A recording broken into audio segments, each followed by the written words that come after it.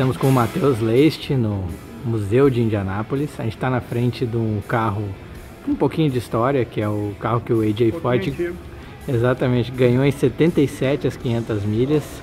E tem essa coincidência, que não é tão coincidência, que o AJ foi o rookie mais rápido no seu primeiro ano e o Matheus também é. E inspira um pouco tu ver essas máquinas aqui em perfeito estado como ganharam, qual é a sensação de estar tá num lugar tão histórico, Matheus? Putz, é super bacana, isso aqui é...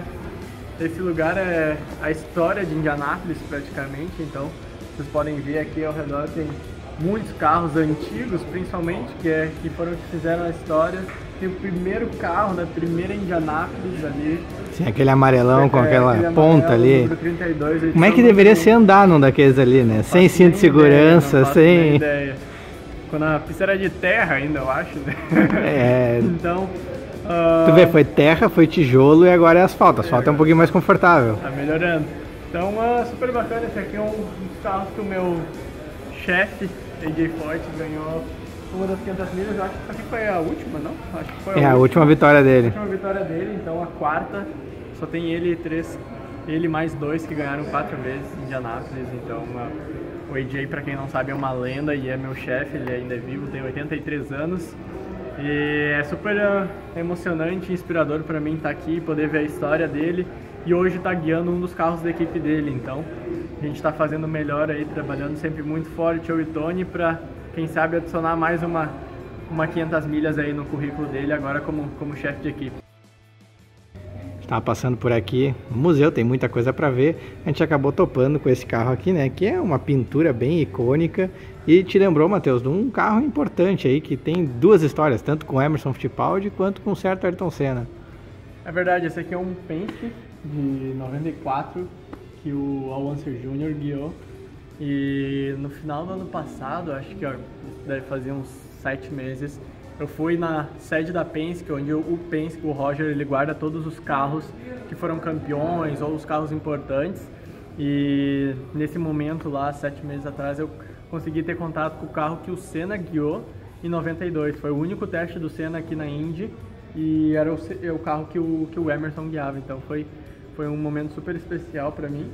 E é um carro que não muda muito desse aqui. As cores são iguais, né? Clássico da, da Marlboro Pace. E... Mas é um carro super bacana. Aí o Matheus, Matheus quer que comente aqui, a gente está numa oficina temática da época aí dos anos 60. Isso aqui é para corrida já. É pra... Quero saber assim, o que, que Tá, é parecido aí no trabalho de garagem? Como é que é assim acompanhar os mecânicos, a importância que tem a garagem para vocês na hora da corrida? Cara, sabe que de estrutura não mudou muito para os dias de hoje. Eu acho que obviamente um pouquinho mais arrumado, mais chique entre aspas, lógico, as coisas são mais bonitinhas, mas tudo que precisa tem aqui. Eu acho que com certeza se hoje a gente precisasse botar um carro aqui e mexer nele, a gente conseguiria tranquilamente mexer em tudo. Então tem todas as bancadas onde os mecânicos normalmente deixam as chaves, o carro fica no meio, que tem até uma geladeira, eu acho que tem no nosso box também, então pra ser bem sincero, não muda muito disso aqui. Lógico que é muito mais bonitinho hoje em dia, mas é basicamente as mesmas coisas. E um baita carro assim também. Estamos aqui em frente ao carro do Uncle Bob, o Bob Answer, que ele uma das nove vitórias que ele teve em Pikes Peak Claro que a gente está falando de 500 milhas, o Bob Anser também ganhou três vezes. E eu conversei rapidinho com o Bob Anser esses dias e ele me falou que importante é escutar a pista, sentir a pista em Indianápolis. Como é que está sendo o processo para aprender a andar em Indianápolis? Como é... Tu acha que esse conselho é bom do, do velho Bob? Cara, é um conselho legal que dá para se basear muito, principalmente nas marchas. Então, um, quando ele fala, eu acho que ele quis dizer que um bom piloto é aquele piloto que consegue decifrar só escutando o motor, entendeu? Isso que é um negócio muito importante. Então, às vezes, até mesmo num acerto aqui em Indianápolis, quando a gente tenta um acerto de asa ou andar com menos drag, que é arrasto aerodinâmico, a gente consegue escutar a diferença que faz o ronco do motor ou o giro do motor sobre aquele acerto. Então, Talvez foi nesse sentido que ele quis dizer. Mas, uh, cara, Indianápolis é um lugar muito especial e é um lugar que, desde o primeiro dia que eu tive aqui, não foi só uma pessoa, foram muitas e sempre me falaram, cara, esse lugar tem que respeitar, é um lugar que uh, não perdoa quando o carro não tá bom e é um lugar que quando bate normalmente machuca, então é um lugar que tem que respeitar e é isso que eu vim fazendo até então. Está aqui com um carro que foi o primeiro carro do Jim Clark nas 500 milhas de Indianápolis. Vê que é um, exatamente uma tecnologia já bem diferente daqueles charutinhos que tem ali, ó. Que são dos anos, no início dos anos 60. Esse aqui é 64, tecnologia bem diferente. O Jim Clark, que era herói do Ayrton Senna, que é um cara que te inspira bastante, né? Como é que é puxar assim essa. Como as várias gerações de pilotos, né? Chegar até aqui.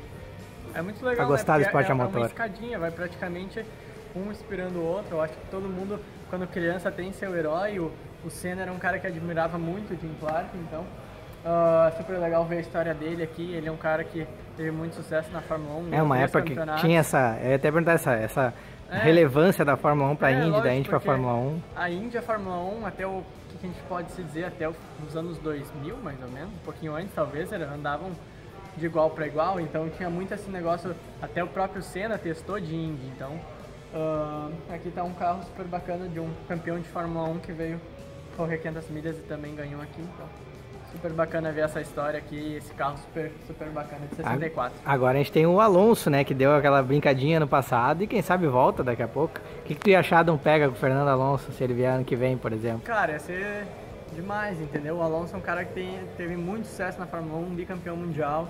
É um cara que veio correr em Indianápolis ano passado, teve uh, uma super corrida. Infelizmente ele quebrou antes do final, mas é um cara que com certeza já está disputando a vitória. E agora tem uns rumores que talvez a McLaren venha para a Indy, o Alonso venha para a Indy, então vamos esperar para ver, mas ia ser, ia ser super bacana ter o Alonso como um concorrente aqui.